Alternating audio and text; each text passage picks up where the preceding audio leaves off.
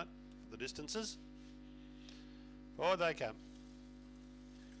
Ipswich tomorrow in the Twilight Zone and Cairns tomorrow night. Tab coverage on Cairns with the heats of the Irene Drury Memorial, the Emma Bryant Cairns Cup and the Fishery Falls Stake as well.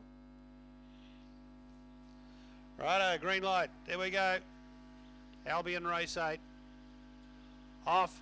Don't double up again. Very fast indeed. Straight to the lead from Rocky Be Good and Shardina coming down the outside from Show Totsu and then came Fast Bean.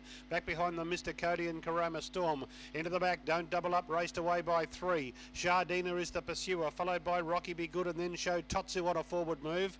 Further back, Karama Storm, Mr. Cody and then Fast Bean. Don't double up by a length on the turn. Shardina's trying to get through on the inside. Does so. Shardina and don't double up. Shardina beat Don't Double Up. Show Totsu third. Karoma Storm fourth. Rocky Be Good fifth.